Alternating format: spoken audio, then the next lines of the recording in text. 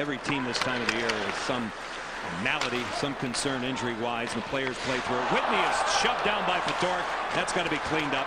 Wallin goes after Fedoruk. And Nick Pauline now in the center ice area. Leggo is calling a penalty here for hooking. 14:48 left to go in the second period, and here's the cleanup.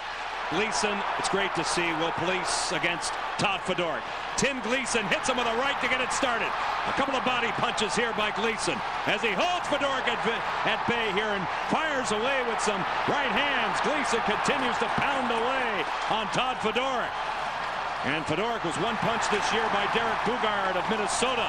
And because of that has 60 pins in both sides, 60 pins in his face.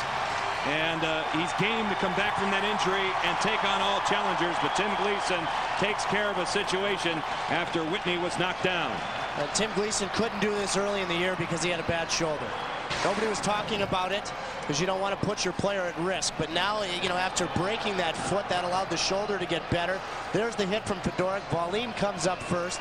And I believe the Canes took a penalty. We'll see how it, it works itself out. But Tim Gleason was quick to drop the gloves with Fedoruk.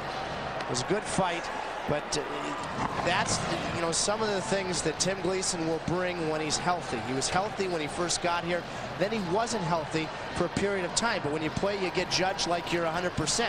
And he was, among other things, brought in to bring, uh, you know, compensate for some of the dynamics that was lost in Aaron Ward. Maybe toughness here and there. Icing down those hands after the altercation. Five-minute majors for fighting. Tim Gleason and Todd Fedoruk. Fedoruk, excuse me, got the extra two. So